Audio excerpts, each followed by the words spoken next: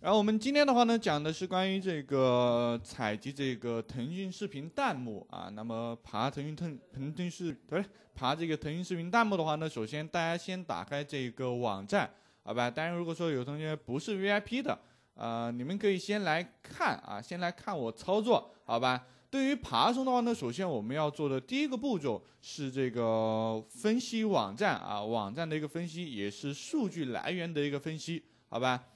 啊，网站的一个分析啊，也是我们的一个思路分析。OK，那思路分析的话呢，我们具体的一个目的呢是要去找到这里面我们想要的、想要的啊、想要的数据的一个来源，明白吗？URL 就地址，没错啊，好吧？想要的数据的一个来源啊，这个我们得知道，好吧？那我们今天想要什么数据呢？其实不难啊，今天想要的数据呢就是这个弹幕。好吧，我们今天就是要爬这个弹幕啊，把这里面的一些弹幕呢给它采集下来，这是我们今天的一个目的啊。那么首先的话呢，我们来到这个网页啊，大家要去找到这个弹幕来源的话呢，呃，你可以先让它播放一会儿，对吧？你会看到有很多的一些这个弹幕，对吧？弹幕大军啊，也好啊，对吧？那我们怎么样去找到这个数据来源呢？啊，我们现在可以啊，大家可以跟着我来啊，通过你键盘上面的一个按键。叫 F 一十二啊，你可以按一下，好吧？当你按完之后的话呢，就会跳转弹出来一个框框啊，弹出来一个这个开发者工具，这个也是我们这个开发人员经常去用的啊，好吧？这个 Network 就是我们说说说到的一个抓包工具，然后呢，在这个抓包工具里面啊，会出现所有的一些数据包啊，也是我们说到所有的一些请求，对吧？每一个请求都对应着是一个地址。那我们接下来要在这个 network network 里面要去找到我们链接啊，这个弹幕所对应的一个链接地址，好吧？那么怎么去找呢？因为现在是没有任何数据的，对吧？我们现在要先来刷新一下这个网页。那么刷新完网页之后，这里面的一个数据呢就会进行一个呃重新的一个加载啊，你可以看到这里面会出来很多很多数据，好吧？那还是跟大家说一下啊，在这个里面你看到的所有数据啊，其中包括四大类。啊，包括四大类。第一类的话呢是文字，对吧？就像这些弹幕啊，还有这些上面的一些文字。那第二类的话呢是视频啊，就是你看到的这个视频，对不对？三类就是这个音频啊，还有文，还有这个图片内容，对吧？这些图片看到没有？好吧，就这些所有的一个内容，它都会在这个里面出现，不管是什么数据，只要是这个网站你能够看到的，明白吗？好吧，那么我们接下来要去找的就是。呃，这个弹幕数据所对应的一个唯一的一个数据包，那这个数据包我们怎么去找呢？啊，是一个一个去点击吗？肯定不行，肯定不行，对吧？你可以看到这里面有这么长，啊，有这么长的一个数据包，我一个一个去找肯定不可能，对不对？那我们怎么办呢？哎，简单啊，在这里面的话呢，你可以点击这个搜索按钮，看到没有？对吧？你可以去尝试点击这个搜索按钮啊，点完它之后，在这个里面你们去搜索这个。搜索这个某一个关键词啊，比如说你们想要去搜这个弹幕，明白吗？哎，比如说你们想要去搜这个弹幕啊，举个例子，我现在就去搜这个重刷重刷啊，对吧？重刷，重刷，OK，那我们回车一下，回车完之后的话呢，它就会给我们去找到一个对应的数据包。明白吗？会去给我们找到一个对应的数据包啊。那这个数据包的话呢，其实就是我们所谓的一个弹幕，弹幕所在的一个链接地址，看到没有？对吧？当我们点击它之后，这个右边会弹出一个新的窗口啊。那么这个新的窗口里面的话呢，就是这个数据包所对应的一些详情信息。详情信息主要分为三类啊，你可以这样去理解。那么第一类的话呢，当我们点击完之后，会直接给我们弹出一个窗口，对吧？这个窗口就是响应。啊，我一般，哎，不是我一般啊，爬虫一般的话呢，呃，不对啊，网站现在一般的话呢，分为两种啊，不对，怎么说呢？啊，这样说吧，我们画图吧，好吧，还是画图啊，哎，还是画图吧，画图比较香啊，对吧？呃，那么在我们这个屏幕的这个左边啊，它是举个例子啊，它是我们的这个浏览器，好吧？那么右边的话呢，它就是服务器啊，比如说是腾讯的一个服务器。对吧？啊，是腾讯视频的一个服务器啊。那么我们现在浏览器通过去访问这个服务器，访问这个浏览视频啊，这样的一个操作，这样的一个访问操作啊，它就是请求，对不对啊？就是请求。那请求是干嘛呢？去找他要数据，要什么数据呢？要弹幕数据，对不对？要弹幕数据，这里面有弹幕，对吧？那这个浏览器、这个服务器接收到这个请求之后呢，就会给到我们一些相对应的一个数据内容，对吧？比如说我们要的是弹幕，那它就会把这个弹幕呢啊原封不动的给到我们。那么这个给的步骤呢，我们叫做响应，懂吗？啊，那这个响应的话呢，哎，连带着这个数据就响应给我们了。懂吗？啊，那就是哎，这里面的一个数据内容，就是我们服务器给到我们响应的一个数据，也叫做 response，明白吗？啊，大家下午好啊，下午好啊，放大啊，你有电脑吗，同学？这个这个里面的一个内容，你暂时不用先看得太清楚啊，啊，冒昧的问一句，你有电脑吗？你可以用电脑看啊，用电脑看会大很多。对吧？或者说用平板看都可以啊，好吧？这个其实说实在话，啊，还可以扩大啊，还可以扩大一点。啊，我只有三百个数据，这个这个没关系啊啊，这个没关系，对吧？你只要知道这个数据它就是在这个数据包里面就可以了，对吧？当然这个有的时候我不太方便观看，对吧？它都在一行，而且字比较小。那么你们可以点击这个 Preview 啊，可以看到就这里面的一个数据内容呢，可以进行一个看到没有？哎。进行一个这个层叠化的一个展开，看到没？对吧？它可以进行一个展开，然后里面的内容呢，看啊，这是每一行每一行的一个数据，对不对？啊，当然这个数据量我们现在不用，现在不用去关注它啊，只要知道这里面的数据都是什么啊，都是我们想要的一个弹幕就可以了，懂吗？就可以了啊。然后我们把它折叠一下，好吧？这个它可以帮助我们进行一个格式化的一个观看啊，这样去看非常的舒服，非常的方便，对不对啊？这个是 Preview 啊，Preview 它的一个功能，好吧？那么剩下两个呢啊，我们先来介绍这个 Headers，在这个 Headers 里面呢，你可以看到这个数据包所对应的一个链接，懂吗？这个数据包所对所对应的一个链接，也就是说我们这些数据啊所在的一个链接地址就是它。能明白吗？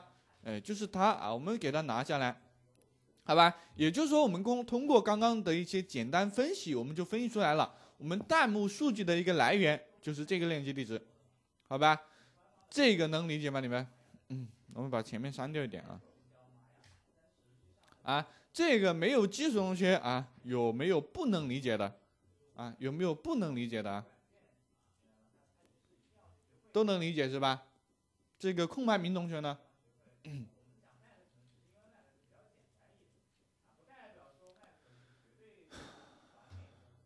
不能啊，呃，不能啊。这个能理解吗？这张图能够能不能理解？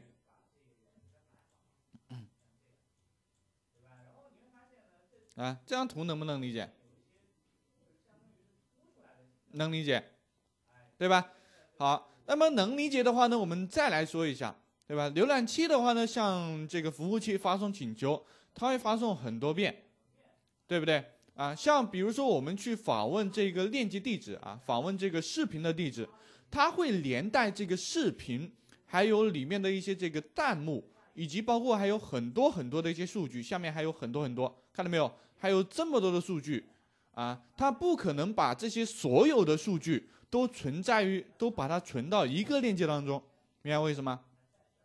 它不可能把所有的数据都存在于这一个链接当中，这就相当于什么呢？相当于你电脑当中，对吧？比如说你电脑有很多盘，对不对？那你不可能说把你所有的数据、所有的内容，你都把它存在 C 盘，对不对？这样 C 盘的话呢，会被挤爆，懂吗？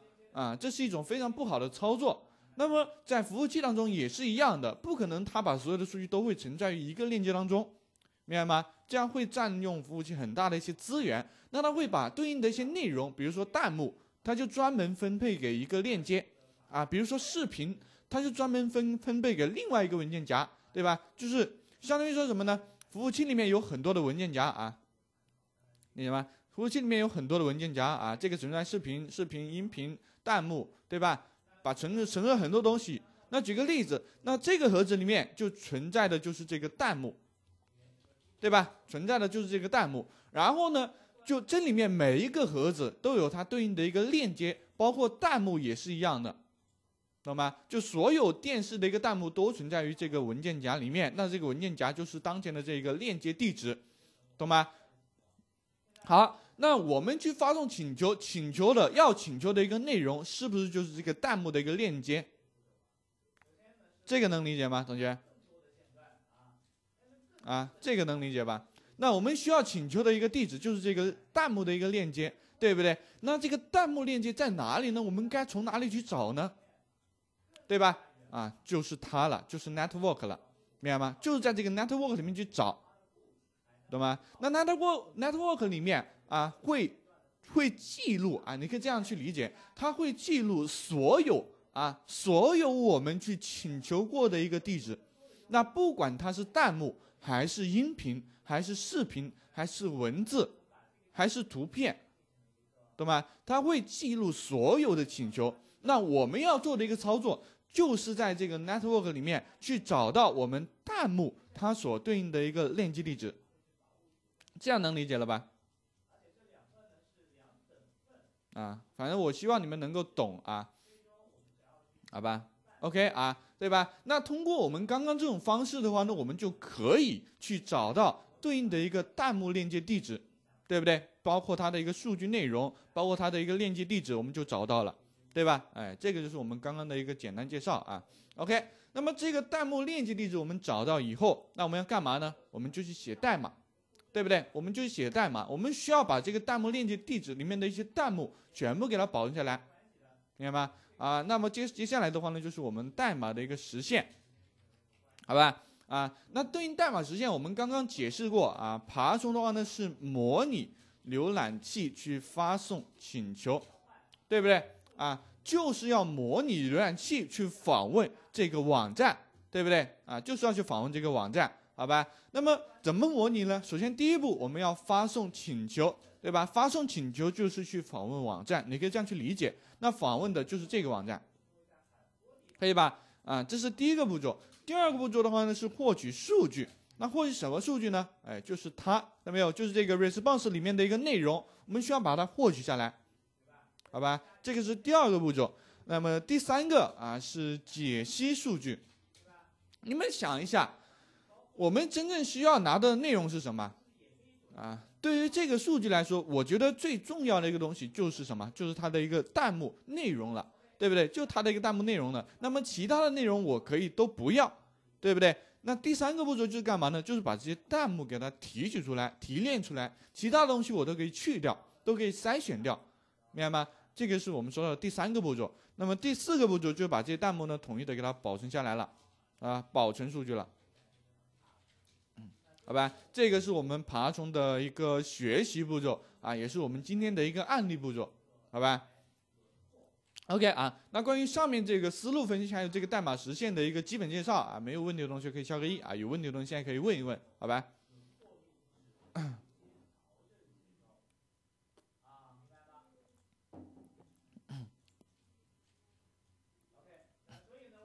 好啊，没问题，OK。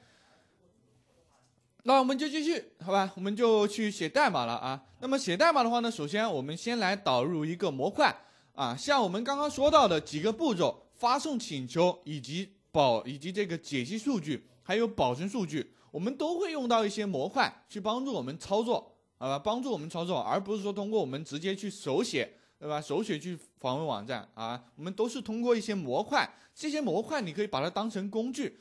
好吧，像 request，request 的话呢，它是帮助我们去发送请求的一个工具，一个第三方啊模块，好吧，第三方模块。那么既然我们说它第三方的，那么肯定是需要你去额外安装的啊。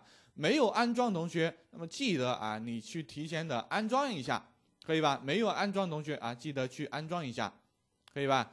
啊，然后这个是第一个啊，第三方模块。那么对应这个模块的话呢，你可以把它理解为就是你的一个手机上的一个百度浏览器，对吧？或者说是什么什么浏览器，它可以去帮助我们访问网站，可以这样去理解，懂吗？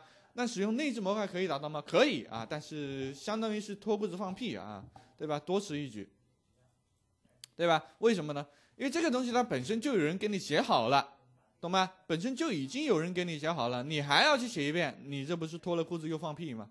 对吧？好吧。那么首先的话呢，我们先把这个 URL 啊给它存进来，来存进来，好吧？这个就是我们说到的一个链接地址啊。那如果说你们懒得去找的话，我也把这个链接地址直接发给你们啊，你们去请求就可以了，好吧？啊，如果说闲的这个觉得这个懒得找的话啊，OK，那这个 URL 啊就是这个链接地址，对吧？URL 等于这个链接地址，对吧？前面有同学说过的啊，URL 等于它。那么我们接下来去发送请求的话呢，我们会使用到这个 request，注意啊，在后面点点什么呢？点 get 还是点 post 还是 request，还有这个 session request，这个 options，还有 session 等等等等这么多，我们要点谁呢？啊，这个不是我说了算，是谁说了算呢？是对方服务器说了算，对吧？你还还是要记得，我们把这张图再拿出来，好吧？这里面会说到我们有一个请求，那么请求的话呢，是对应这个服务器的一个方式的，好吧？服务器的话呢，它有它是控制这个请求方式的。你如果说要去访问啊，虽然浏览器它没有什么限制，对吧？浏览器啊，对吧？可能你一访问，它都会默认的全部给你安排好，对不对？但对于我们这个爬虫啊，爬虫的话呢，我们就不能说啊，随你去，随你什么请请求啊，随你去什么请求，对吧？啊，对于爬虫的话呢，我们需要去指定请求，这个请求的话呢，它必须是这个服务器指定的一个请求。那么在哪里有这个请求方式呢？对吧？很简单啊，我们来到这个网站。好吧，在这里面的话呢，会有啊 headers，看到没有？点击 headers，下面的话呢，会有一个 request method，看到没有？啊，有一个 request method，就在我们链接下面会有一个东西 request method。method 的话呢，就是方法的一个意思，方式的一个意思，明白吗？啊，那么 request method 就是请求方式的一个意思，好吧？它为 get，看到没有？它后面是 get。那所以的话呢，我们在这个里面请求的方式也是什么？也是 get。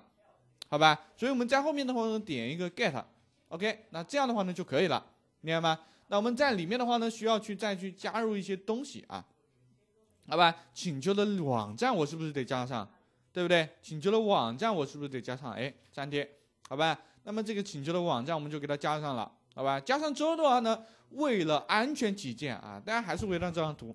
好吧，因为一般情况下来说啊，你去随便的你去访问一个网站，你通过浏览器去访问可能没问题，明白吗？但是呢，如果说我这里面换成了什么，换成了爬虫，对吧？爬虫是模拟浏览器嘛，对不对？那现在爬虫现在模拟浏览器，我现在没有做任何的模拟，对吧？没有做任何的伪装，我去请求他，你觉得他发现，在发现我的身份上的一个情况下？他还会给我们数据吗？对吧？啊，能理解我意思吗？就好比什么呢？就好比你是个流氓，你是个女生，对吧？他知道你是一个流氓的情况下，他还会同意你吗？他肯定不会同意你，对不对？所以说我们得先加一个伪装，是不是？那这个伪装的话呢，在哪里？我们先来一个 headers，好吧？headers 就是伪装啊，伪装。OK。那这个伪装在哪里加呢？啊，我们来到这个网页，好吧，来到这个网页，还是在这个 headers 里面，看到没有？在这个下面的话呢，你会看到有一个 request headers，也有一个 response headers。那么 response 的话呢，我们刚刚说过，它是一个响应，对吧？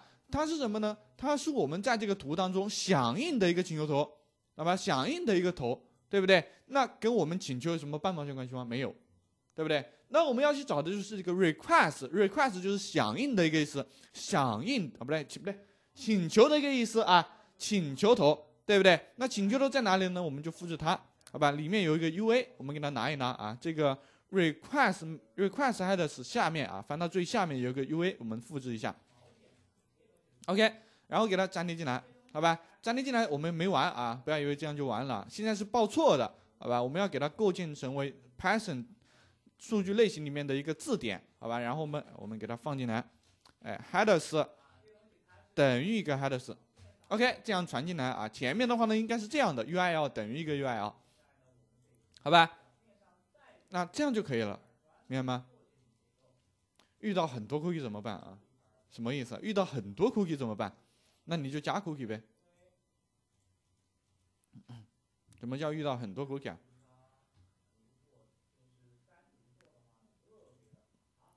能解释一下吗？什么叫遇到很多 cookie 啊？你还是不懂，对吧？哪里不懂？是是是四十五行不懂，还是四十一行啊？不对，四十二行不懂，哪一行？你可以直接跟我说啊，对吧？哪一行不懂可以直接跟我说。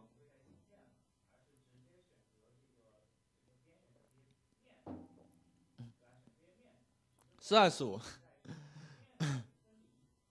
好吧，这个属实是没有任何基础啊，属实是没有任何基础。你是第一次来学吧？好吧，啊，四十二行的话呢，像这一行，你可以把它理解为什么呢？你你现在因为是你没有基础啊，你没有基础，你就直接把它理解为它就是一个伪装，明白吗？它就是伪装，比如说它是一个头套，对吧？啊，它是一个头套啊，头上套了一个丝袜，对吧？这个就是丝袜，对不对？但是呢，这个丝袜它现在放在那里了，我现在哎，就这个 headers 它就是一个丝袜啊，丝袜放在那里，我没有给它装，没有给它戴上，明白吗？就相当于我伪装有，但是我没有装，对不对？那下面四十五行的一个步骤是干嘛呢？就把这个伪装给它戴上去，明白吗？就把这个丝袜啊给它戴到头上，对吧？明白为什么？有时候请求一个链接啊，浏览器会生成很多 cookies 啊。你说的是这个吧？你说的是这个吧？啊，你说的是这个吧？这个无所谓的啊，你看这个就可以了啊，你看这个 cookie 就可以了，好吧？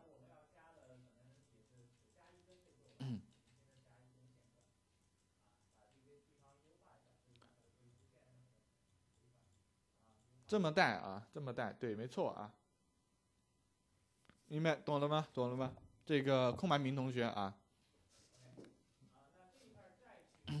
懂了吧？这个就是携带这个请求头的一个意思啊。然后的话呢，我们接下来干嘛呢？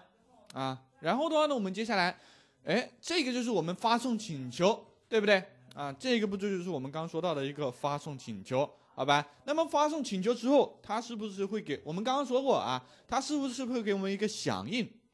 对不对？那我们怎么去查看这个响应呢？对吧？请求之后，它会顺带就直接给我一个响应，这个响应就是 response，对吧？这个是请求啊，然后呢，左边就是响应，对不对？那这个响应是什么东西呢？来，我们来看一看啊，print 打印语句，对吧？把这个响应给它打印一下，我们看一下效果，对不对？好吧，然后我们来啊，通过右键来运行看一看，哎，response 两百。对吧？啊，那肯定你们就有疑问了啊，老师，这个 response 两百是个什么东西啊？对吧？啊，我们刚刚说他给我响应，对吧？那正常来说他给我响应，那这个响应是不是得携带这个弹幕吗？对不对？是不是得携带这个弹幕呀？对吧？但现在没有弹幕，他只是给到我一个 response 两百，什么意思啊？对吧？他只是说 response 两百，就是说请求啊，告诉你啊，注意啊，是告诉你请求成功的一个意思。对吧？那请求成功，我们需要看到里面的一个数据，怎么看呢？在后面加一个点 test，好吧？点 test，test 是什么？是文本内容的一个意思，对吧？那我们点 test 的就是拿到这个响应题里面的一个文本内容，你可以这样去理解。然后我们右键运行看一看，哎，那么这样的话呢，我们可以获取到里面的一个数据，好吧？可以获取到里面的一个数据啊。当然啊，为了我们去提取数据的一个方便啊，注意啊，为了我们接下来这个是获取数据啊，第二个步骤是干嘛？是获取数据，对不对？但是为了我们去解析数据啊，第三个步骤我们是解析数据，对不对？是解析数据啊，我们是要去提取数据，对吧？为了我们解析数据的一个方便性、便捷性。注意啊，我们这里面就不能点 test，明白意思吗？不能点 test，我们要点什么呢？点 JSON，好吧？点 JSON，啊，那实际上啊，实际上你们看到，我们点 test 跟点 JSON，我们看到的内容它其实是一模一样的，明白为什么？它是一模一样的，没有区别。你看到它表面上的一个数据是一模一样的，没有任何区别，看到没有？没有任何区别。你可以把它们理解为。它们表面上是一样的，响应的内容是一样的。能明白为什么？响应的内容是一样的，但是它们的一个类型不一样。能懂吧？他们的一个类型不一样。举个例子啊，像你，比如说你啊啊啊，比如说啊，算了，不拿你吧，好吧，可能有点得罪你们啊。比如说自由老师，对吧？比如说自由老师，那么自由老师他本来是一个男的，对不对？那他就突然想做一个手术啊，去了一趟泰国，对吧？去了泰国，然后咔嚓一刀没了，对吧？然后又回来，他本他虽然他已经发生了一些变化，但他本质上还是一个男的，明白为什么？啊，但是他的一个类型发生了变化，他可能从男的变成了一个性别不明，对不对？啊，这个就是一个一个一个一个，呃，一个类型上面的一个变化，对不对？但他但他还是他，明白吗？他自由，他还是自由，他没有变，他没有说自由变成失业，对不对？他还是自由，明白为什么？好吧，啊，这就是这个这个的一个含义啊。那当然。它到底是怎么变化的呢？就刚刚那位同学说的啊，它从什么呢？从一个，从一个字符串，对吧？变成了一个什么呢？一个字典。那么字典的话呢，你可以现在把它理解为是一个容器，好吧？它是我们 Python 当中的一个容器。容器的话呢，可以存储很多东西，好吧？这个我们就先不去介绍，可以吧？啊，我就不先不去介绍了啊。我可能去介绍，你可能会头大啊。可以吧？啊，那么当它变成字典以后啊，它有一个很方便的特性，明白吗？它有一个很方便的特性，像我们 Python 当中的一些数据容器啊，只要它变成了一个容器，Python 当中的一个数据类型，那这样的话呢，我们去提取数据的时候就会很方便，懂吗？就会很方便。举个例子，像字典的话呢，啊，我们现在开始来介绍字典的一个基础，好吧？不然可能很多同学会比较懵啊。字典的话呢，它是以这样的一种形式存在的，你们可以看一下啊，值，好吧？你们可以先看一看啊，我先写一下啊，然后现在如果说你觉得有疑问的同学啊，尽量可以赶紧问我，好吧？别等到一会儿你就懵了啊，可以吧？刚刚那位空白名同学啊，仔细听啊，这个是对于零基础同学的一个基础内容。刚刚有人问到这个单词翻译是怎么插件啊？是一个 translation 的一个插件啊，translation 的一个插件，文件里面有一个设置，好吧，然后里面有一个插件，然后里面的话呢有一个这个，好吧，啊，先不要问啊，我待会儿会解释的啊，好吧，那这样的一种形式，你可以把它理解为是字典，对吧？比如说这个字典有个名字啊，我就叫它中华字典，好吧，我就叫它中华字典等于它，可以吧？啊，这个就是我们说到的一个字典啊。那么字典的话呢，你们现在可以啊，这个可以这样去理解，你可以把它理解为你们自己去翻的一些中华字典，对吧？什么新华字典，什么什么玩意儿，你可以这样理解为理解为是一个新华字典嘛？好像新华字典啊，我好像说错了，对吧？新华字典。那么新华字典，你们去查字典的时候是怎么查的？是不是通过什么拼音去查到里面的一个关键的一个字，对不对？是不是这样的？啊，没错吧，对吧？那么像 Python 里面的一个字典是怎么去取的呢？很简单，它是通过这个拼音啊，你可以把这个键理解为是一个拼音，明白吗？你可以通过拼音去获取到里面的一个值，啊，也是通过拼音获取里面的一个字，对不对？这样能理解了吗？对吧？那我们去查字典，我们真正需要的是什么东西呢？就是这个值，对不对？那我们主要是通通过这个键能够获取到这个值。包括什么呢？包括我们刚刚看到的一个内容啊，这个 preview，对吧？你可以看到，我们真正需要获取的其实就是里面的一个值，对不对？冒号后面的就是值啊，冒号前面的就是键，就是这个拼音，好吧？那问题来了，我们怎么样才能够获取到这里面的一个值呢？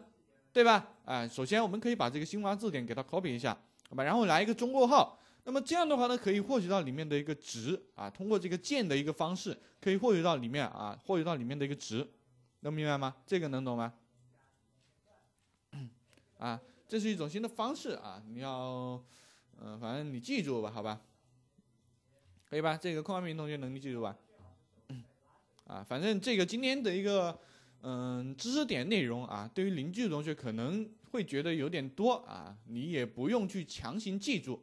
好吧，也不用去强行记住，因为这个不，这个不是你一节课都能够全部记住的一个东西啊，你就能够理解就可以了，好吧，能理解就可以了啊。等就算你后面的记住的一个方式，你呃再多花点时间是可以记住的，好吧？你不用先记住啊，你先理解吧，能理解吗？好吧，这个就是我们说到的一个键的一个取值方式。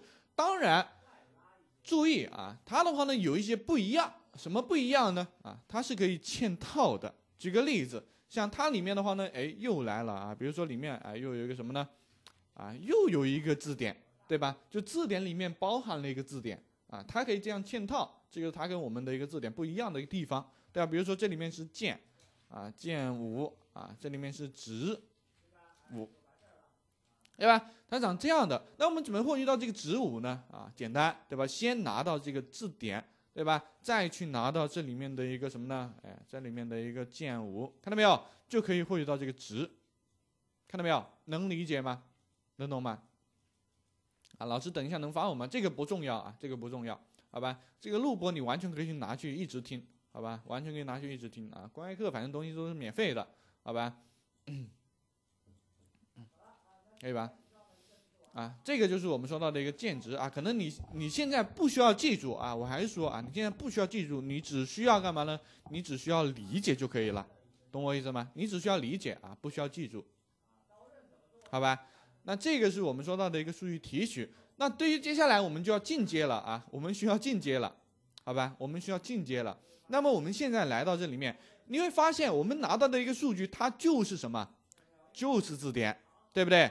啊，它就是大括号括起来的。然后里面的话呢，值啊，什么键值啊，键值键值对，对吧？哎，都是这样的键值键值，是不是？哎，那我们需要去提取怎么提取呢？哎，是不是通过中括号，对不对？是不是通过中括号？那么首先的话呢，我们先要提取这个 comment，对吧？我们参照这个 preview 啊，参照这个 preview，跟我们刚刚的一模一样的。那首先的话呢，你可以看到在这里面去看啊，在这里面去观察它的一个数据呢，就会更加的好看一点，对不对？对吧？那么我们数据的话提取啥呢？首先提取这个 comment，对吧？因为我们的一个评论，我们需要的一个字啊，需要的一个评论就在这个里面，对吧？首先的话呢，我们先提取这个 comment。OK，那么。首先啊，这个键啊，这个字典的一个名字叫啥？是不是叫上面有一个 JSON data，对不对？叫 JSON data 啊。那么首先我们先提取啊，先提取这个，对吧？comments，comments 就是评论，对不对？啊，先提取这个评论。好，那么评论里面的话呢，哎，这个怎么变成中国号了？对不对？啊，那现在我要教你第二个东西，中国号的话呢，是我们 Python 当中啊，这个如果说你看到的一个数据。它是长这样的，它是中括号括号起来的，对吧？里面有这个什么零一二三四五，它是长这样的。那它是什么呢？它是 Python 当中的一个列表，好吧？也是 Python 当中的一些数据容器，对吧？也是一种数据容器啊。数据容器有很多，我不愁你能记住，但是我希望你能理解，好吧？啊，这个是我们数据容器啊。那么对应这个容器，我们怎么取值呢？比如说这个容器的话呢，它叫做列表啊，列表。比如说它列表就叫 A 吧，好吧，就叫 A，对不对？啊，那这个列表怎么去取值呢？也不难啊，也不难。大家记住，如果说你需要获取到这个零啊，那同样你写一个 A，然后中括号零啊，通过位置去取值，明白为什么？它就不是通过这个什么键一二三四五这样去取值。它通过它的一个位置去取值的，懂吗？它的一个取值方式就不一样了啊！你要记得，好吧？可能说现在这里面不太好去理解啊。我们可以写一个一三五七啊，一三四五六吧，好吧？可以这样去，一三五七九啊，写这样可能你更加理解一些。我们通过这个 A 零可以去取到这里面的一个一，我们通过 A 一啊可以取到里面的这个三，好吧？通过 A 二可以取到里面的这个五。也就是说，它是以位置去取值的啊，零一二三四，对不对？它是从零开始的啊，你要记住啊，它是从零开始的，不是从一开始的，好吧？跟你们日常的一个思维逻辑可能不太一样，对吧？从零开始去取值，可以吧？然后呢，我们现在比如说要取到这个评论啊，单个评论我们怎么取呢？对吧？啊，我们取到这个零，对不对？取到这个零啊，就可以取到这里面的一个值，明白我意思吗？啊，比举个例子啊，我们这里面举个例子，通过这个零，你就可以取到里面的第一个评论，对吧？看一看啊，就可以取到里面的第一个评论，对不对？这是不是第一个评论里面的信息，对吧？啊，那我们通过一就可以取到第二个评论。那你想一下，这里面总共有三百个评论，对吧？总共有三百个评论，那我要写三百行吗？对不对？不可能，啊，那为了我们能够取值取得很方便，我们要干嘛？要来一个 for 循环，好吧？我们直接去循环它，好吧？comment in 一个 comment，好吧？通过一个 for 循环去循环这个列表，对不对？循环列表之后，我们可以一批量的啊，直接给它全部的拿出来，看到没有？给它全部拿出来，每一个弹幕，看到没有？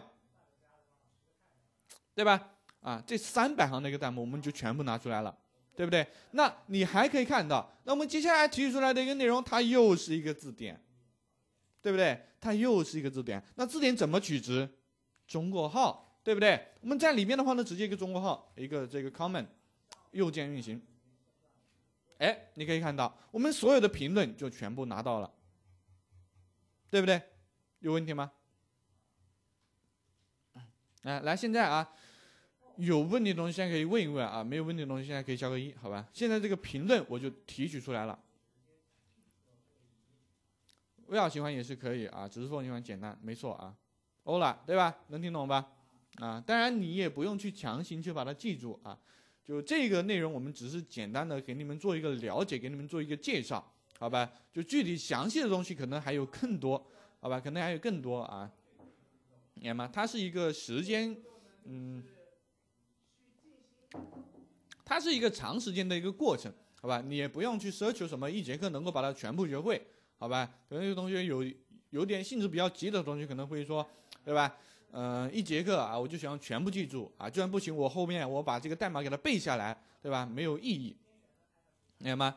啊，学这个东西的话呢，比较啊，你有基础当然是另说啊，没有基础的同学啊，我指的是没有基础同学啊，你不要去强行说把它全部记住，好吧？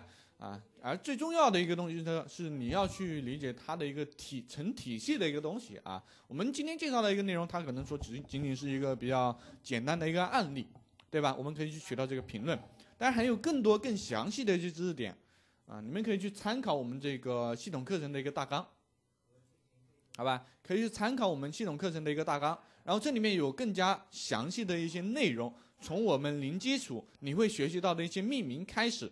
明白吗？因为今天的话呢，我们作为一个演示课，我不奢求你们全部都能够去掌握这个案例，但是我希望你们，对吧？能够大致的清楚、大致的了解关于我们 Python 能够做什么事情，能够去实现什么功能，对吧？能够去做什么好玩的东西啊，以及有哪些发展方向啊？这个我希望你们能够知道啊。然后的话呢，可以你们看一下吧，好吧？这里面有我们的一些系统课程的一个大纲啊，是你可以去从零基础啊开始去学习。明白吗？就像这个空白明同学一样啊，零基础开始去学习，对吧？首先是一个很小白的一个程度啊，然后的话呢，学习到我们基础的一些内容以后啊，再去选择方向啊，再去选择爬虫的一个学习。但有很多同学在还没有学习到基础的一个情况下，就干嘛呢？就往后面去学习了，这个是我不太建议的。你可以去了解，但我不建议你没有基础你就直接去学这个爬虫，就直接学数据分析。就直接学网站开发，这个是我不建议的，好吧？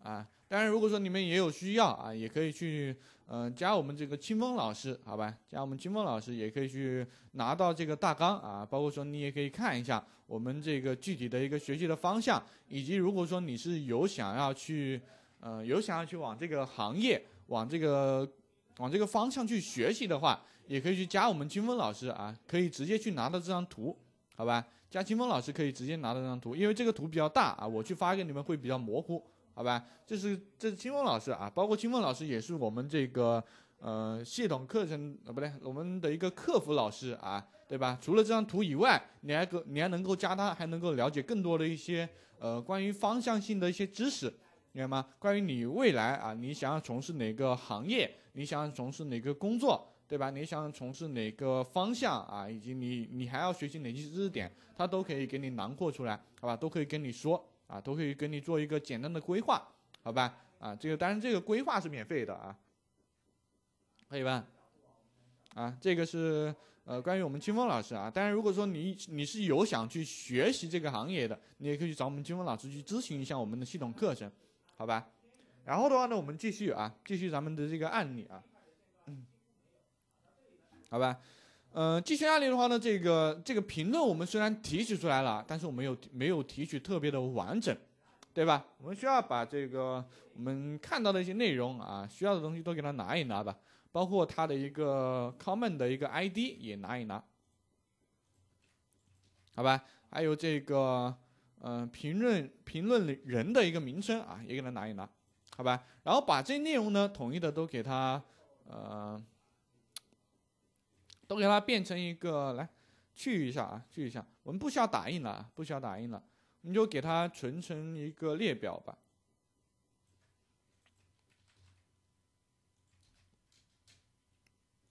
来看一看啊。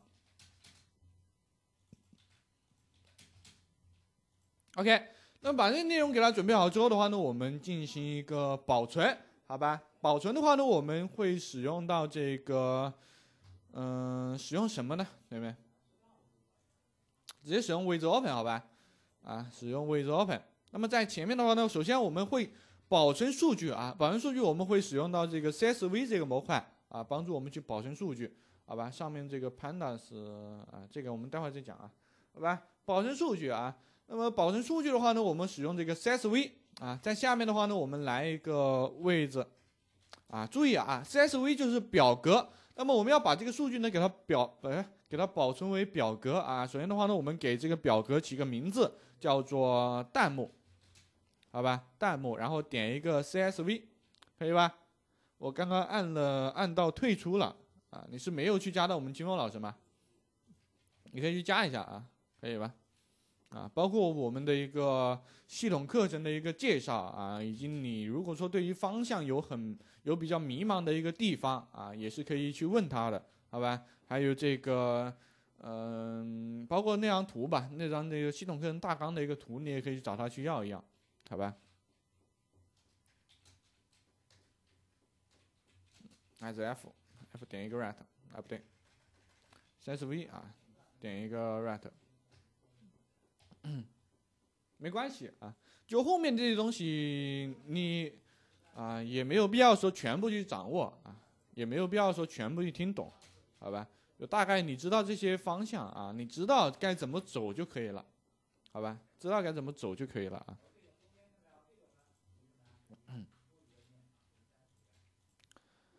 OK 啊，然后的话呢，准备好之后啊，我们等一下啊，这个是 F。对吧？CSV 啊，一个 write，CSV，啊点一个 write row，粘贴，搞错了啊。OK 啊，然后的话呢，这样的话呢，可以去帮助我们写入数据。我们右键运行看一看，哎，可以看到，对吧？我们多出来了一个表格数据，然后把这个评论。啊，把这个东西都给它保存下来了，看到没有？对吧？把这个弹幕啊，来，顺便的话呢，我们拿这个打开看一看，大家看到了吧？对吧？这个弹幕的话呢，就保存下来了啊，是不是？看到了吧？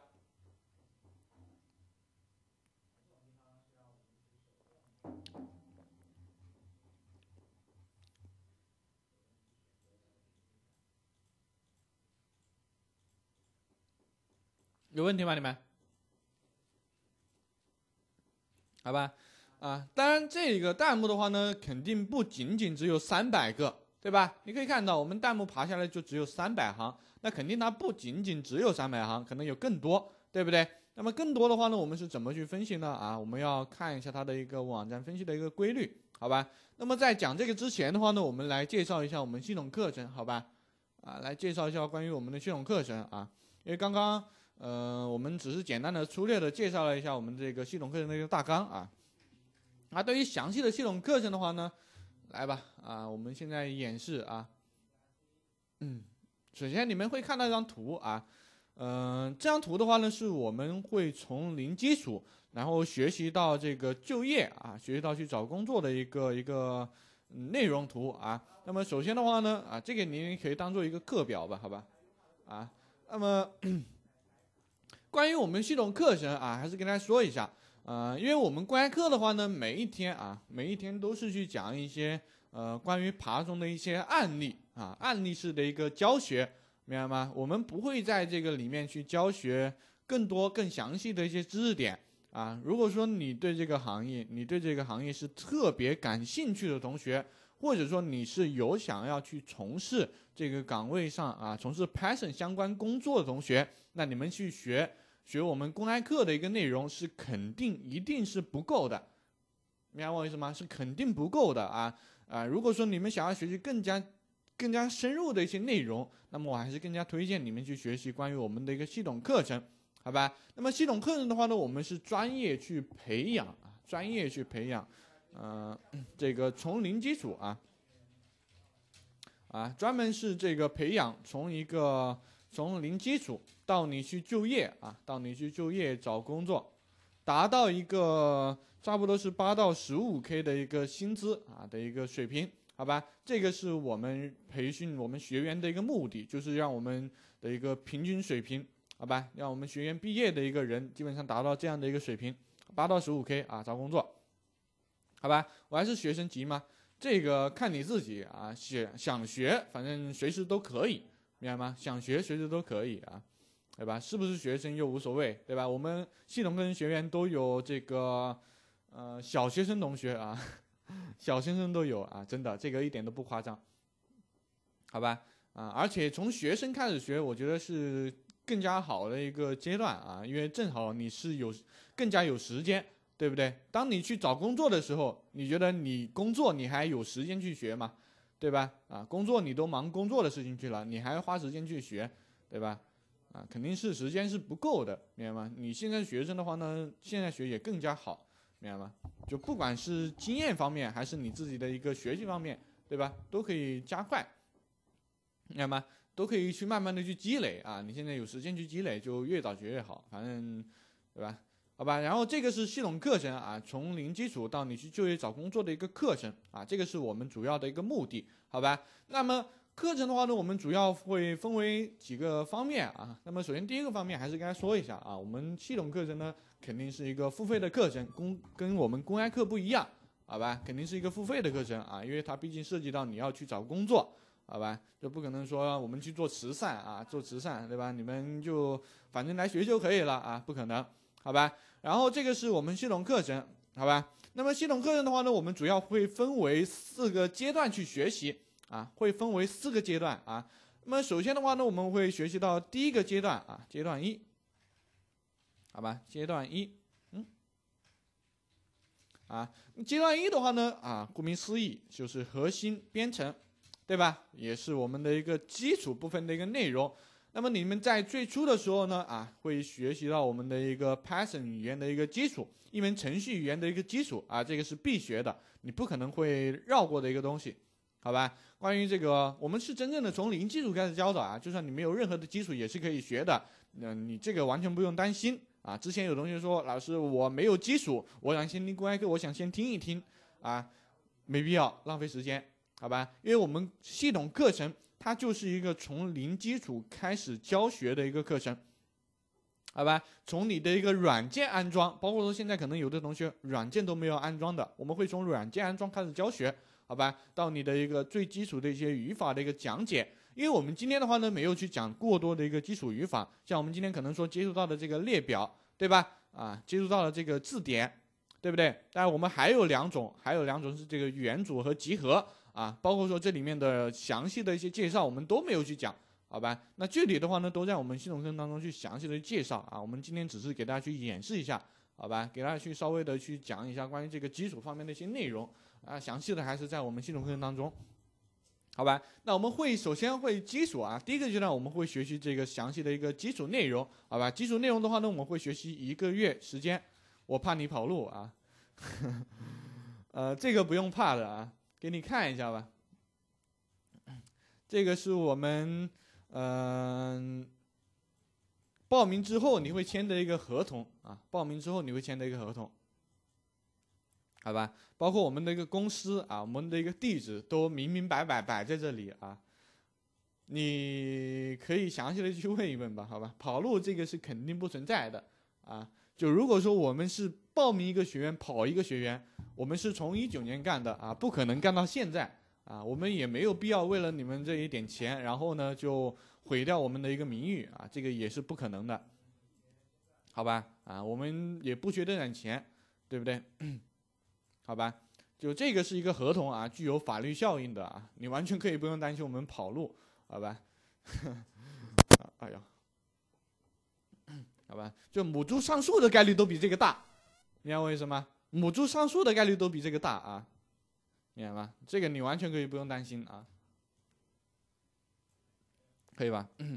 啊，然后这个是我们说到的一个阶段一啊，我们会学习一个月时间。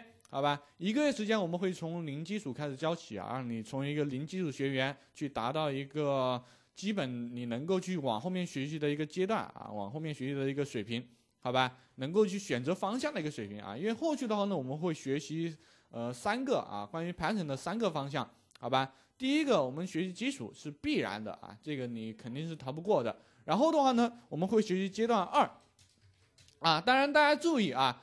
这个阶段二并不是说你想过就能够去过的啊！我们在阶段一的时候，因为我们为了让你能够达到这样的一个水平，好吧，在阶段一学完以后，我们会有一个考核，明白吗？会有个考核，因为我们以及我们每节课都会有这个作业，明白吗？每节课都会有作业，以及每个每个阶段啊都会有考核，这个是我我们为了让你能够达到这个水平而去设立的一个考核。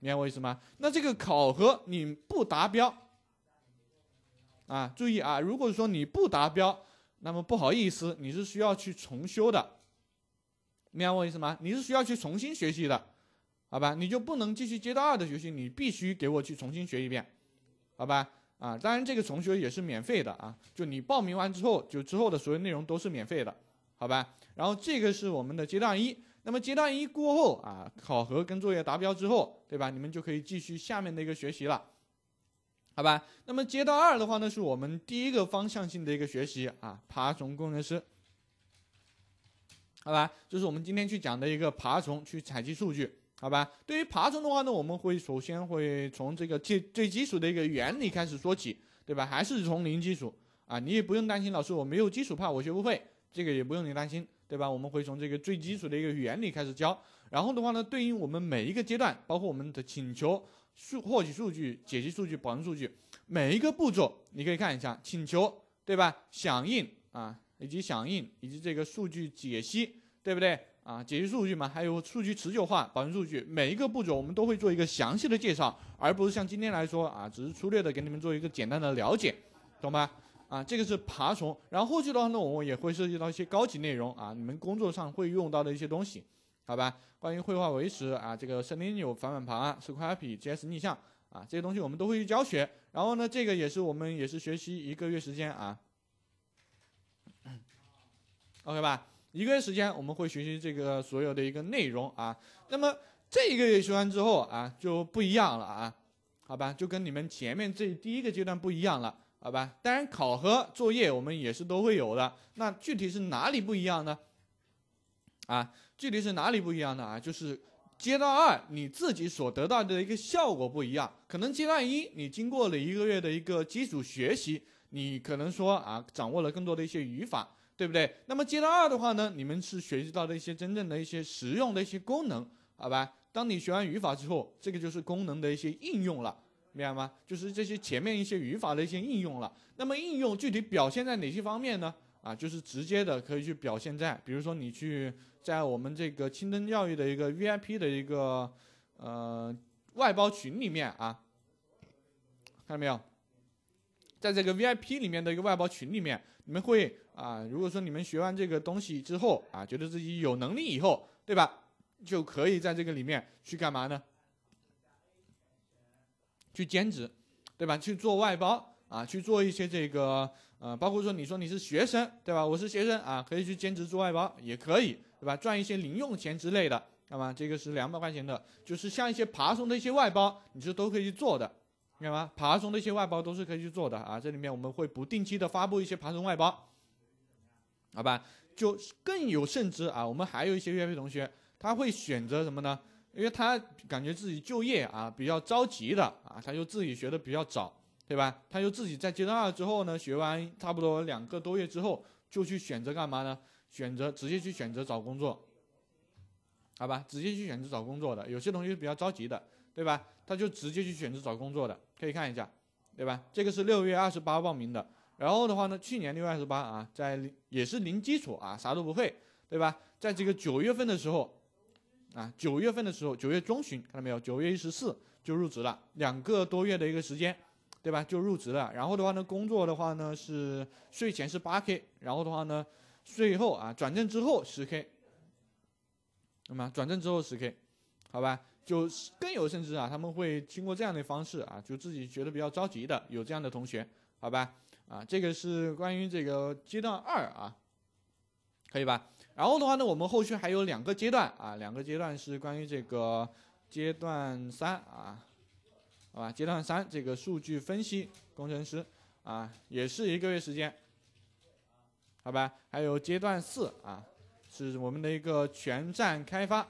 好吧，但关于全站开发的话呢，我们会学习三个月时间啊，好吧，全站开发就是开发网站，我们会学习三个月时间。那为什么为老师为什么这个全站开发要多出三个月呀？对吧？比其他课程都是两个月啊，因为我们在这个学阶段三的时候，我们会实实在在的去学习两个网站的一个开发，好吧，一个前端一个后端啊，就这两个网站是我们在教学过程当中。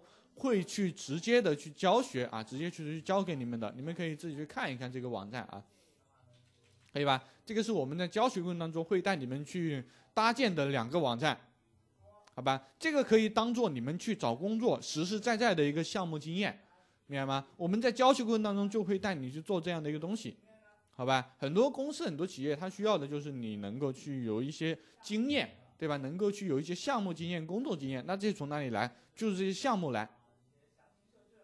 你看为什么？好吧，这个是阶段二啊，阶段四给给你们能够达到这个程度。那么总共的话呢，我们是大概学习全套课程啊，全套课程我们总共是学习七个月时间，好吧，就七个月时间内把这些所有内容全部学完啊，全部掌握，好吧。然后每个阶段我们都会有考核啊，也都是一样的，这下面的一个标准都是一样的，好吧？啊，那我们上课是这样的啊。我们上课的话呢是这样的，我们是每周的这个一三五或者每周二四六晚上的这个八点钟到晚上的十点钟直播授课，好吧？有的人就可能会担心啊，老师我这个，啊，可能说不一定每节课都有时间来，对不对？啊，那我们上课一周一周就三节课，没有很多，对不对？没有很多啊，一周三节课，然后的话呢一周花一周差不多六到八个小时去学习就可以了，好吧？啊。然后这个是我们的一个上课时间啊，当然我们老师我如果说这节课来不了怎么办啊？我们课后的话呢会提供咱们这个永久啊永久的一个录播回放给你进行观看，明白吗？啊，永久的录播回放啊，就你课后的话呢有问题对吧？啊，想去重复看一遍的啊，有这个永久的录播回放，以及加上我们老师啊这个解答服务，对吧？就你课后的话呢，啊，课后课后你有问题，对吧？可以啊，随时找老师解答，明白为什么？好吧，这个是我们的一个解答服务啊，就是对于很多没有基础的同学来说，其实我觉得前面这个课程啊，其实关于它的一个体系性的一个重要，对吧？除此以外的话呢，就是这个解答服务，明白吗？我没问题了啊，什么什么。老师可以做这个维 i 网啊，可以做网站开发啊，可以，好吧，可以啊。Python 是 IDE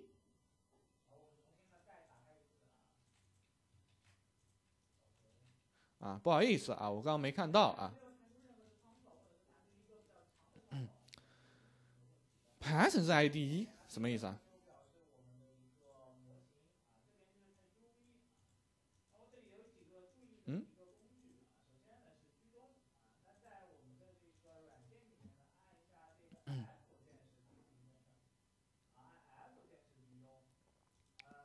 刚给我问到了啊，Python 是 ID？。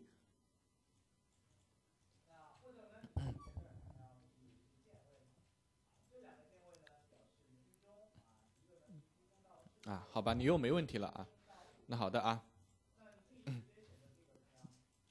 好吧。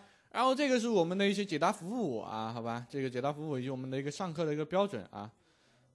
老师怎么做一个，怎么用控制台做一个编译器啊？那你想的可真好啊！啊，那你想的可真好啊！好吧，编译器什么意思啊？代码的一个写代码的一个东西吗？我没写过啊，这玩意我还真没写过，你还真没问我啊，我还真没写过，我还真不知道啊。呃，你可以去问一下这个做拍项目的一个官方人员啊，或者说你问这个问其他人吧，好吧，这个我还真没做过啊。运行代码这个玩意我还真没做过啊，不好意思啊。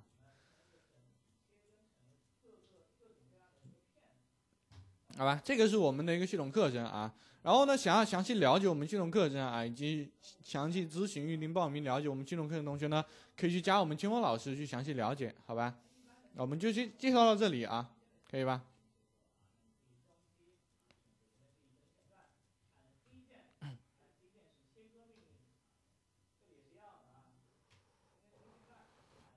然后呢，这个弹幕我们爬下来了。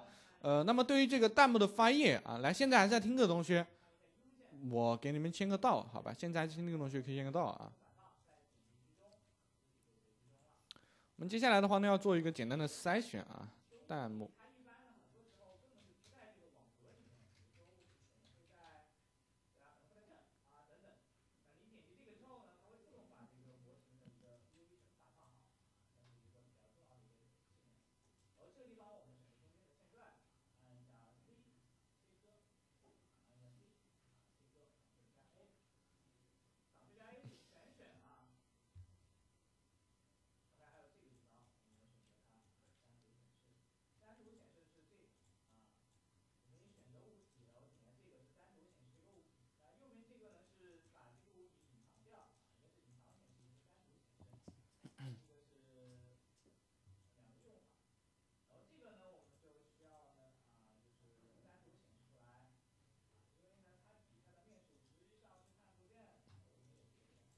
可以啊，那，然后我们接下来的话呢，去看到我们的一个翻页啊，这个，哎，怎么还有其他的一些玩意儿啊？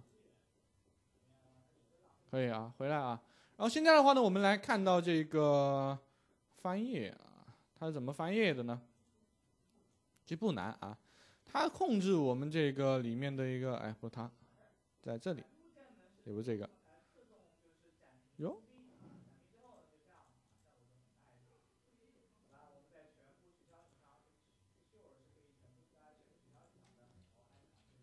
我们得先去找到这个弹幕的一些数据包啊，比如说这个，好吧，去参考这个玩意儿就可以了。还有这个，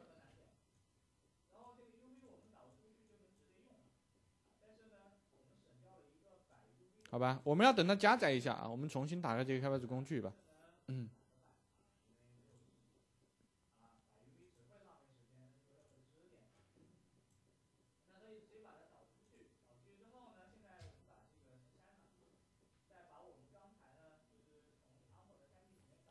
好吧，总共出现了三个弹幕的一个数据包啊。那么首先的话呢，我们先来找到第一个数据包啊，这个是第一个数据包的一个内容，好吧。然后的话呢，还有第二个啊，第二个在这里啊，在这里。哦，这个也不对啊，往下面翻一翻，一百九十五啊，这个。嗯，它的话呢，这两个数据包是一样的啊，我们给它放过去吧，好吧？你们可以看一下它翻译的一个规律呢，其实基本上前面这一部分内容呢都是可以不用去对比的啊，就前面这一段啊，前面这一段都是一模一样的。那么主要去对比这一个，下面这两个。那么下面这两个，首先第一个是时间戳，对吧？第二个的话呢，其实就是我们翻页的一个参数啊，我们是通过控制它去进行一个翻页的，好吧？控制这个玩意进行翻页的，它每增加每翻一页的话呢，就是三十啊，所以的话呢，我们在这里面呃，给它来一个 for 循环啊，啊 for 一个 page in 一个 range，然后的话呢，这里面从这个一十五开始，一直到什么呢？一直到一千五吧，好吧？然后这里面三十为步长，OK，然后我们给它进行一个简单的缩进，好吧？然后呢，这里面把它稍微的改一改啊，改成一个配景，前面加个 F，好吧？这样去进行一个传入啊，那我们就可以去爬这个多页的一个内容，好吧？来，我们来看一看啊。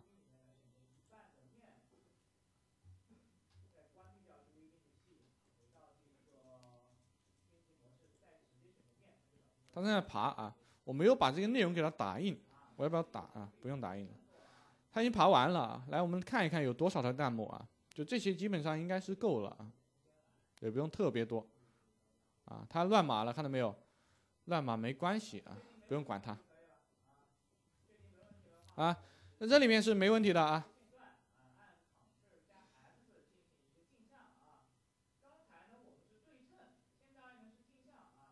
哦，有多少呀？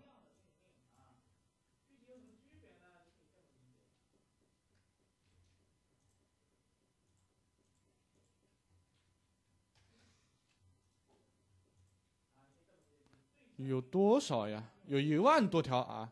我的天哪，一万多条弹幕啊！你敢信？为什么打开文件会乱码呀？乱码就乱码，没关系啊，不用管它。好吧，乱码就乱码，没关系，不用管它啊。你就老是我直接打开我乱码啊，你以其他的方式打开啊，好吧？你用其他的方式打开，你比如说你可以用这个，可以不用 Office。懂吗？你可以不用哦，可以啊，不对，你可以不用这个，你可以用其他的这个软件打开啊。但这个打开乱码，你可以不用管它啊，因为本身它是没问题的，数据没问题啊，只不过乱码，对不对？啊，老师，我就是想让它这个，对吧？我就是想让它正常啊，这样啊，这样，好吧？啊，你就这样去做就可以了，把 UTF 杠八给它改成 G B K 啊。当然，每一个人的电脑可能不一样啊，这里面还是注意啊。不一定你改成 GPK 就可以啊，还是提个醒啊，可以吧？你看啊，它就不可以了，对不对？看到没有？所以说这个东西你还是慎用啊，注意你慎用，好吧？甚至说你可以不用啊，无所谓。UTF 杠八杠一个 SIG 看一下。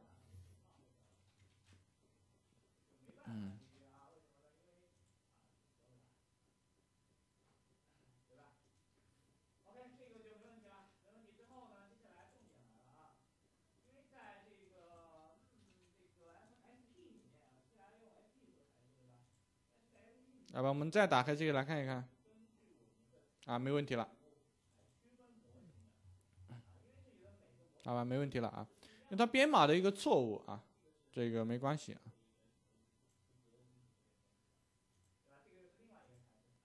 你如果实在不想管也没关系啊，你可以不用去看它的一个编码方式啊，这个。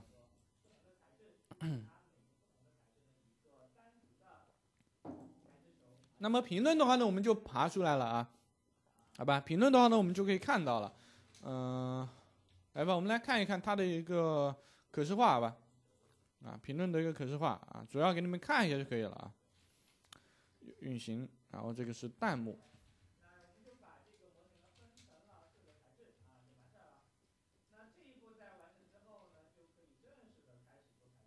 对吧？主要看一下这个弹幕啊。弹幕的一个可视化啊，执行图的一个可视化，好吧，啊，其实也没什么好说的啊，就是这个，就这些，对吧？它可以控制这个词语出现的一个频率，然后呢，控制这个词字体的一个大小，对吧？然后这个代码的话呢，我们就不讲了啊，主要给你们去稍微看一下就可以了啊，好吧？为发现本身没有什么基础，我再去讲的话，我感觉你们就要崩了啊，你们心态就要崩了。对吧？啊，心态逐渐就发生了变化啊！我不想打击你们脆弱的心灵啊，好吧？就这些啊，没有问题吗？现在有问题可以问一问啊，有问题可以现在问一问，好吧？然后没有问题呢，可以敲个一啊，或者送你鲜花，可以吧？昨晚那个爬虫我写好了哟啊，那你真棒啊！不错啊，你真棒。我都没写啊，我都懒得写。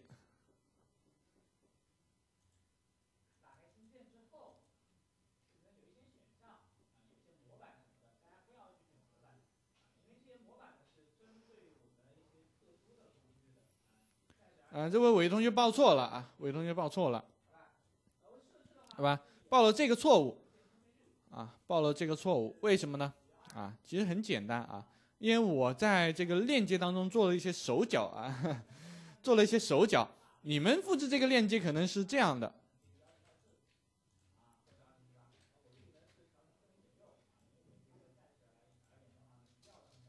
你们复制链接可能是长这样的。对吧？但我复制的链接里面少了一个东西啊，少了这样一串参数，看到没有？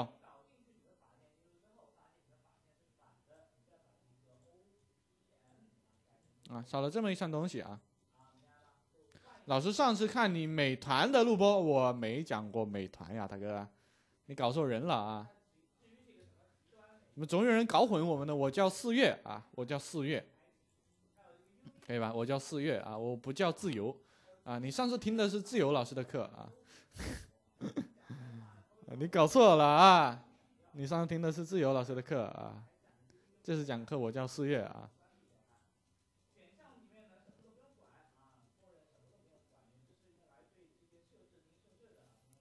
动态 UI 要怎么处理？哪一种动态？你可以给我演示一下吗？哪一种动态？什么叫动态 UI 啊？对吧？你可以给我简单说一下吧。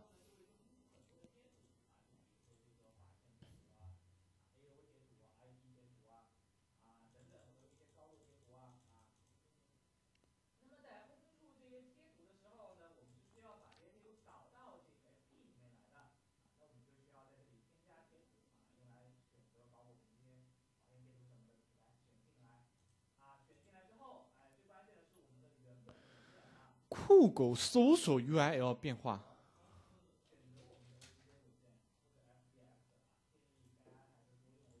这里面吗？你是说这个链接吗？是这个链接吗？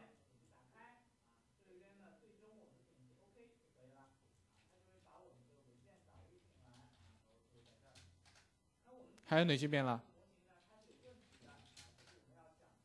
告诉我还有哪些变了？哪个变了？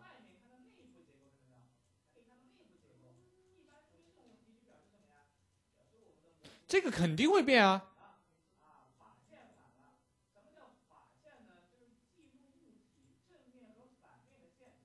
你是说的这个链接，还是说它的一个数据包？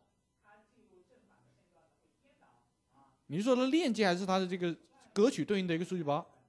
说清楚啊，好吧，那我们来找一找吧。你说它会变化啊，我就不信它会怎么变化。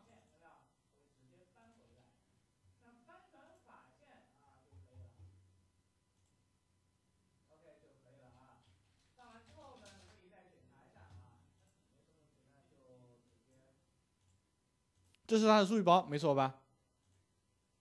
对不对？这个是它的一个数据包。好。那你说有一个 MID 发生变化啊，这个是吧？这个你可以不用管。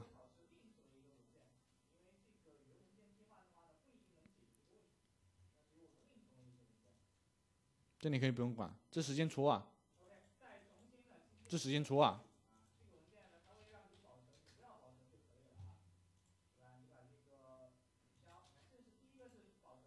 这时间除啊，看到没有？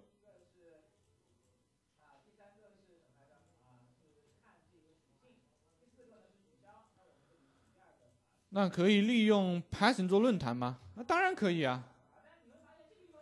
这个不就是论坛吗？对吧？这个不就是论坛吗？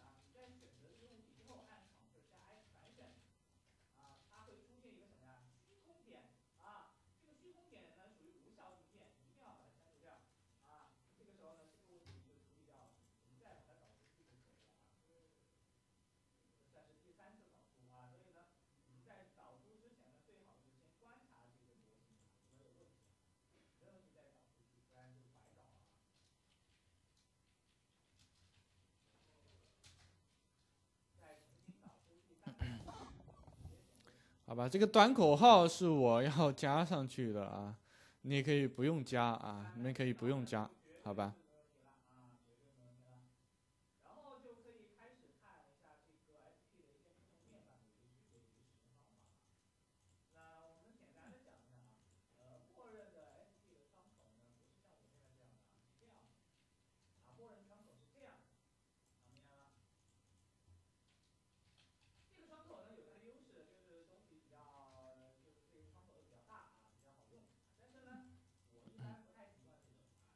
发现你们奇怪的问题好多啊！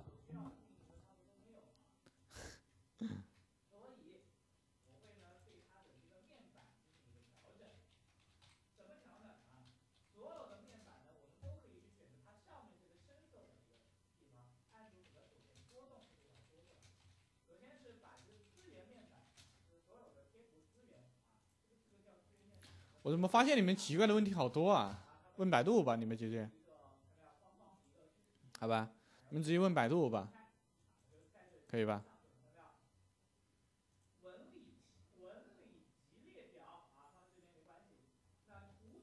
老师，老师可以看看美团美食分类和其他分类请求头不一样啊。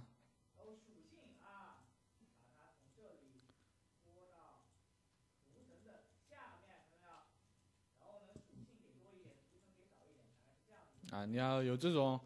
有这种需求，你要不你直接啊，你直接你直接报班啊，跟我们清风老啊不对，待待会儿跟我们清风老师去报班啊，跟我们自由老师啊面对面 solo 啊，对吧？让自由老师直接教你啊。啊，美团，美团我没看过啊，美团我没去看过，因为美团因为是自由老师爬过的，所以我没有去爬过。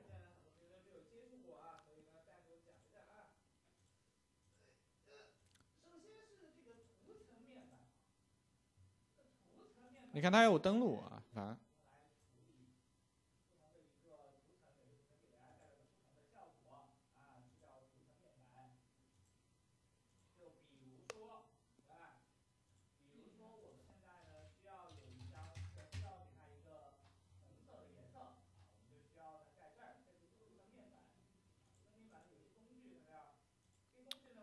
它我登录啊，我不想登录啊。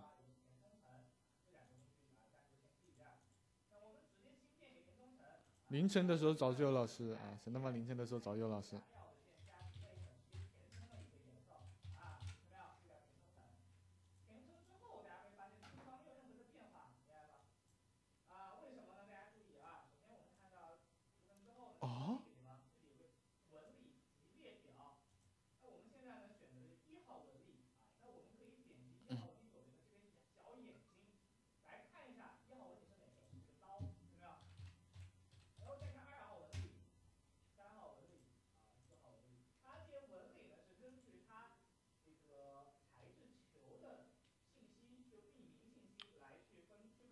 哦什么呀？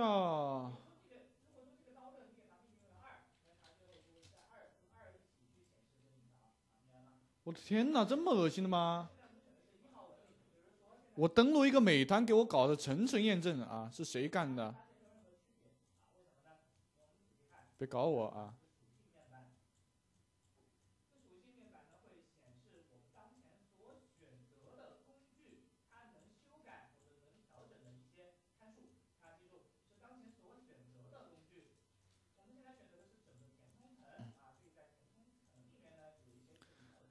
就不让用户删除指定的文件啊，也许可以做啊，你可以自己去看一看吧。不要问我这是奇怪的问题啊。甚至你完全可以干嘛呢？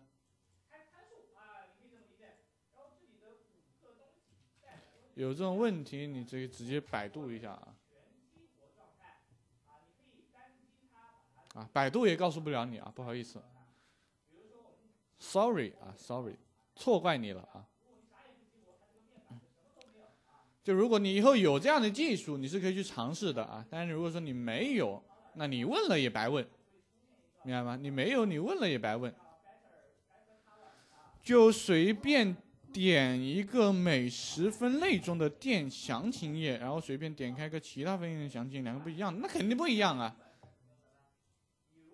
他们的详情页不一样是吧？你说的是这个是吧？然后还有他的对吧？比如说我点个酒店的啊，酒店的详情也跟他不一样，对不对？你是不是你不是是不是说这个？你是不是说的这个？啊？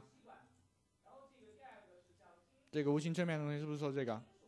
或者说这个？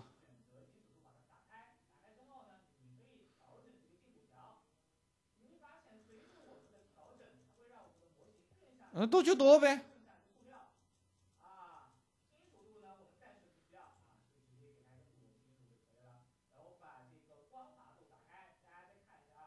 顶油头多了就多了呗。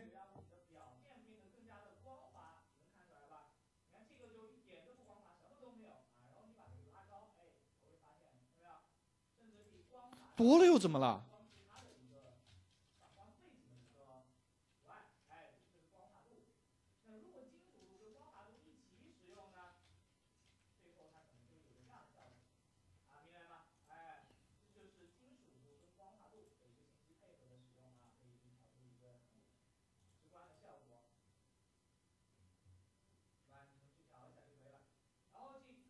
多了就多了呀，你可不用管它，管它干嘛？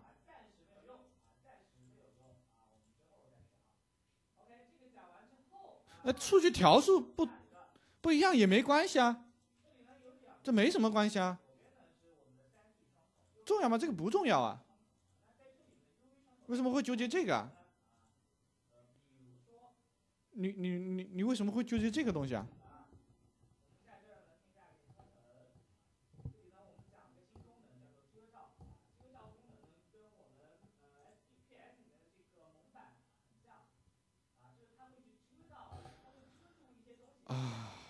什么会纠结这个东西啊？我特别能理解啊，无所谓啊，这个无所谓。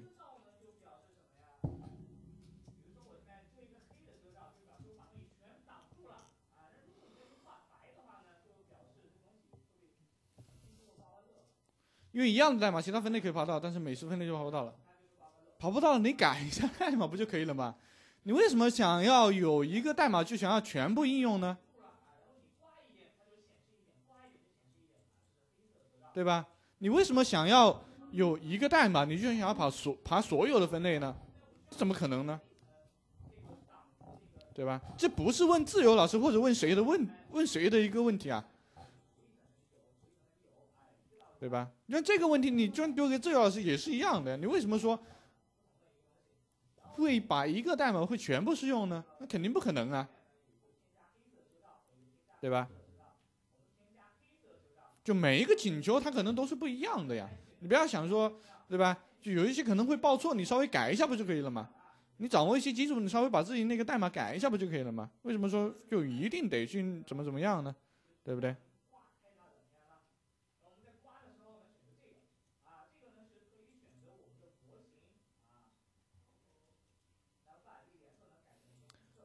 啊，Python 破解 WiFi 密码啊，不用字典。你破去呗，啊，这个不是我该教的知识点啊。你如果说老师我要盘算破解什么什么玩意儿啊，你去破我呗。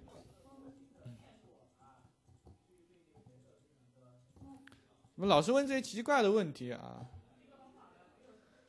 呃，我再开始也是这么想的，但酒店分类，什么分类还可以啊，但是美食分类不行哈，我再研究吧，多谢老师啊。